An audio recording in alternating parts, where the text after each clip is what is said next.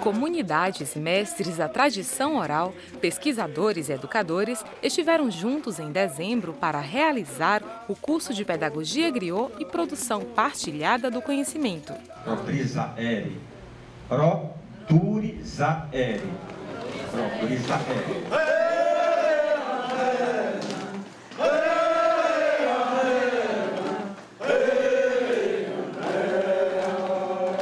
O evento foi promovido pela USP em parceria com entidades que reconhecem a tradição das culturas orais como um patrimônio imaterial brasileiro. Universidade Griot, Universidade Livre Fora do Eixo, Centro de Estudos da Capoeira, Nina Griot e representantes de pontos de cultura do MINC.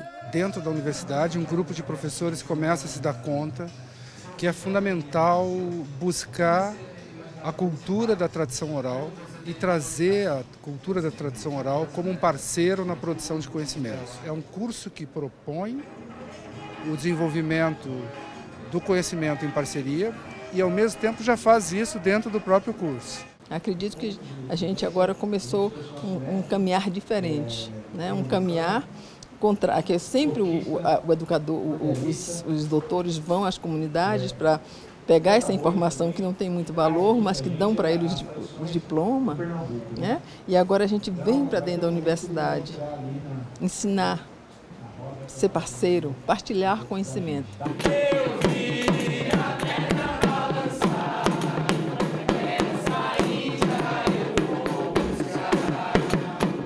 Mestres griots vindos de vários cantos do Brasil contaram histórias, falaram de rituais, traduziram expressões linguísticas e envolveram os participantes com vivências narrativas e corporais. Existem os mestres da, da cultura, mestres do saber. Eles estão aí para poder nos ensinar como a gente ter um, uma atitude boa, uma boa atitude com outro povo né, com o jeito que ele vive, o jeito que eles, eles cantam, dançam. Né?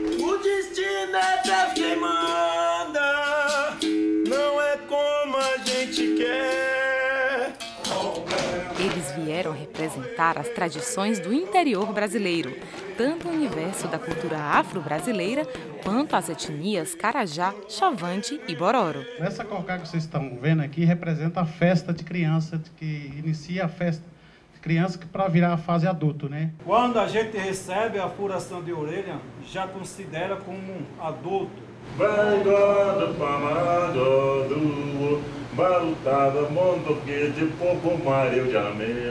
Aí o, o griot faz isso. Ele não olha para quem que é que está passando, ele se incorpora com aqueles povos.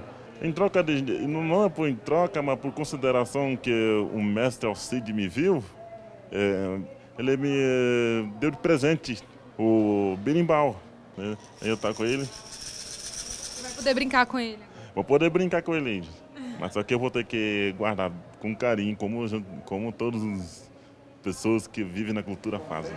Chavantes e Carajás, povos que já foram inimigos, trocaram presentes e conheceram mais sobre os costumes um do outro. Chavante, eu nem chegava, né? Inimigo número um. Hoje estou é dançando com ele. Hoje estou dançando com ele.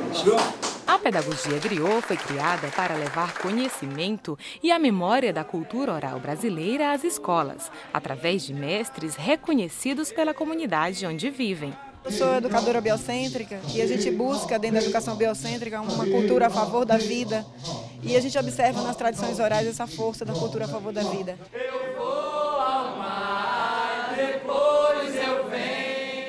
A gente vê o ser humano saindo do centro da educação, né? É, o assunto que está ali no centro, a criança não se percebe, não se reconhece, não vê sua identidade. Então, na educação biocêntrica, a gente busca a identidade, facilitar o processo de desenvolvimento da identidade. Nós vivemos a sala de aula quadrada, é, estagnada, sedimentada, e de repente você trazer aquilo que é velho, que está se perdendo, transformando em novo, em uma nova perspectiva. É dessa forma que eu vejo a possibilidade da pedagogia griot. Eu pude perceber assim né, da importância da, da tradição, né, é, dessa diversidade, dessa ancestralidade, mas da tradição dos povos, das culturas, das comunidades, para que nós possamos é, é, formar os alunos dentro né, dessa tradição. No início eu achei que falava de, de cultura brasileira. Falava, então não importa se é índio, se é branco, da, da cultura brasileira. Aí quando eu cheguei no curso mesmo, foi ver, é, além, é muito mais além que estava imaginando. Então era, era da, ele compartilha com a cultura que existe no mundo, que tem, que tem com o povo. Né? O que é a pedagogia griot? Então, primeiro griot, né? esse sentido dessa palavra simbólica que a gente traz da oeste da África para é, buscar qual é o lugar social que integra educação com a tradição oral.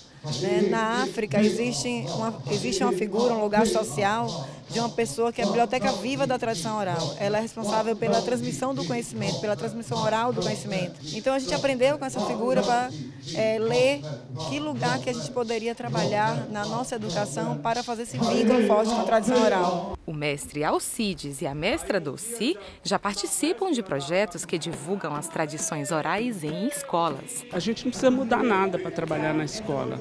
A gente leva o que a gente já sabe e procura não entrar no esquema da educação formal. É um outro sistema, é uma outra pedagogia, que é a, que é a pedagogia da apropriação do seu saber da tradição oral, não saber da tradição formal. E que atividades você desenvolve lá com as crianças? No Amorim Lima nós trabalhamos com a capoeira, com coco de roda, com, com ciranda, toré, aboio, samba de roda, puxada de rede da pesca do xarel. Trabalhamos com 170 crianças no contraturno da escola. É, todos os nossos educadores são os alunos da escola. Ela se situa numa, na área rural de João Pessoa. Né? E a gente tem o trabalho é, de, de ajudar essas crianças a aceitarem aonde elas nasceram. Como é que foi a recepção no começo da escola? Houve algum tipo de resistência? Resistência sempre, sempre tem, porque é um choque cultural que a gente leva para a escola. Mas a gente está preparado para até entender a, a resistência e a nossa função é transformar isso. Tem escolas que nos aceitam com muita tranquilidade, tem outras que se assustam, né, porque a gente ainda tem um preconceito quando você pega um tambor, você associa imediatamente a, a tradição do, do, da, da, dos povos de terreiro, né? E que não é, mas quando você vai cantar uma ciranda, necessariamente não tem nada a ver com o candomblé, não tem nada a ver com o espiritismo, não tem nada a ver com o catolicismo, não tem nada a ver com, com o evangelismo, não tem nada a ver. É, o tambor é, é, um, é, uma, é um instrumento milenar. Quando a gente leva o diferente para a escola, que é a nossa cultura, a cultura do povo brasileiro, e não a cultura americana e europeia, aí as pessoas estranham mesmo.